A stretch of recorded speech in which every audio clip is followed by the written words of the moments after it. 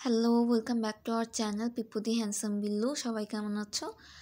তো আজকে হয়েছে কি পিপ্পোর ঠিক রাত আটটা থেকে দশটা পর্যন্ত চিল্লাইতে চিল্লাইতে আমাকে পুরো অতিষ্ঠ করে ফেলছে। তো আমি আর না পাইরা দেন হচ্ছে ওকে বাইরে নিয়ে গেছি। দশটা বাজে, এই শীতের মধ্যে দশটা বাজে ওকে বাইরে নিয়ে গেছি। হার্নেস পরায় দেন ওকে হাঁটতে নিয়ে গেছিলাম। তো বের হয়েই ও অমনি ছাদে যাওয়ার জন্য পায়চারা করতেছিল। ছাদে যাবে তো হচ্ছে, কিন্তু ছাদে হচ্ছে কোনো বাল্ব নাই মানে কোনো লাইট না থাকা, পুরো অন্ধকার ছাদ, তাই মানে আমি ছাদে ওকে যাইতে দিইনি। তো এক বিড়ালের সাথে আমার আরেক বিড়ালও আসছে, আমার ছোট ভাই। ও বিড়াল, কোনো অংশে বিড়ালের চেয়ে কম না। ও হচ্ছে আমার সাথে সাথে আসছে। পিপ্পো হচ্ছে বেশি শয়তানিও করতেছে। তো ওই যে ও পিপ্পো হচ্ছে এদিক ওদিক শুকতেছিল।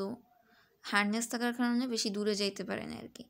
মানে ও ঘুরে ফিরে অন্ধকার গাড়ি আসতেছে। পরে আমি ফোনের ফ্লাশটা জ্বালাইছি। গাড়ি গাড়ি গাড়ি। তারপর উড়া ধুরা ঘুরতেছে হার্নেস ছুটানোর জন্য উড়া ধুরা ঘোরাঘুরি করতেছে।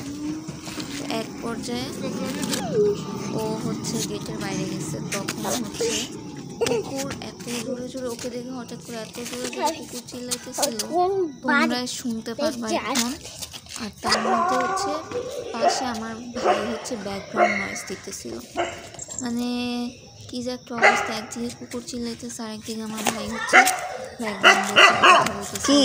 তো আমি এখন একটু চুপ থাকি তোমরা একটু শুনো কুকুরটা কীভাবে এত জোরে জোরে চিৎকার করতেছে পিপ্পোকে দেখে হঠাৎ। আর তার সাথে তার পাশে আরেকটা ব্ল্যাক কালারের বিড়াল এসেছিল। এই দুইটা বিড়ালকে দেখে কুকুরটা অনেক বেশি রেগে গেছিল আমি নিজেও ভয় পেয়ে গেছিলাম। তোমরা একটু শুনো।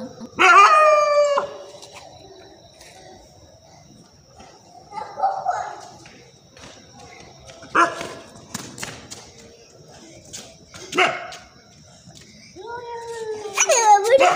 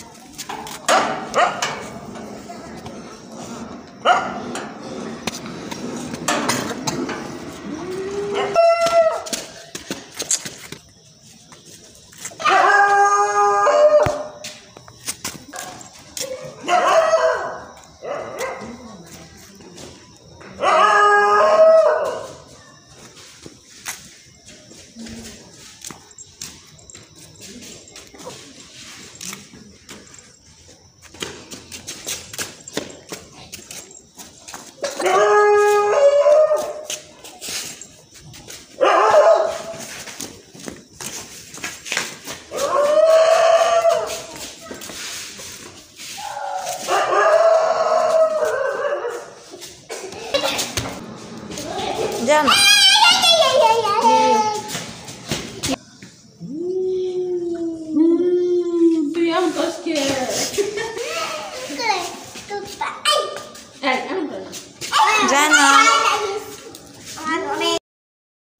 তো তারপরও পাশের পাশের আন্টির ঘরে ঢুকে গেল। আমি অনেকবার করে ওকে না করতেছিলাম যে যায়ও না। না ও পাশের পাশের আন্টির বাসায় ঢুকবেই ঢুকবে। পরে আর কি করার? ও যেখানে যাবে আমাকে যাইতেই হবে। তো ঢুকছে। তারপর হচ্ছে পুরা বাড়িও ঘুরলো কিছুক্ষণ, ঘুরে ঘুরে চেক করল কোনো ফিমেল ক্যাট আছে কি না যাকে ও মানে নিজের বউ করে নিয়ে যেতে পারবে। তো ঘোরাঘুরির পরও কোনো ফিমেল ক্যাট পাইলো না। তারপর ওকে আমি মানে বের করার ট্রাই করতেছিলাম বাসা থেকে এই যে না আমি টানতেছি, ও আমার সাথে মানে কি সুন্দর যুদ্ধ করতেছে আমার সাথে। পরে এক পর্যায়ে টানতে টানতে যখন আমার সাথে পারতেছে না তখন ও শুয়ে পড়ছে। এভাবে শুয়ে শুয়ে আমাকে এভাবেই নিয়ে আসছি টাইনে টাইনে। আর বাইরে আসবে না মানে আসবে না।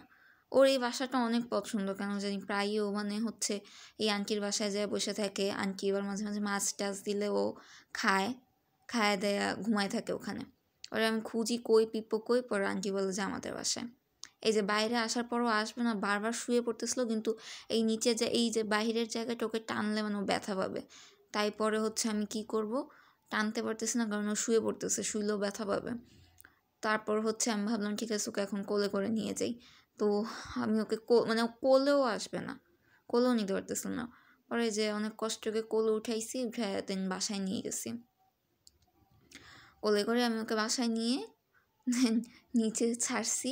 ও ওই এক জায়গায় বসেই রয়েছে তো বসেই রয়েছে অনেক মন খারাপ করছে কেন? ওকে বাইরে থেকে বাসায় আনলাম। ও বাইরেই থাকবে। এই শীতের মধ্যে, ঠান্ডার মধ্যেও নাকি বাইরে থাকবে। এই যে এখন দেখবেন কি পরিমাণে রাগ করছে ও।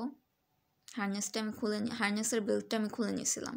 হার্নেসটা পরায় রাখছি সোয়েটার হিসাবে কাজ করে ওর এই হার্নেসটা এই যে ও ঘুমে পড়ে যেতেছে, কিন্তু ঘুমাবে না বাইরে যাবে।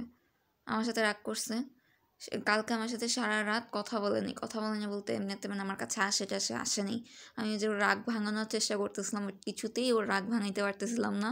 মানে ও আমাদেরকে তাকাবেই না, আমাকে দেখবেই না, আদর নিবে না। পরে আদর করলাম একটু।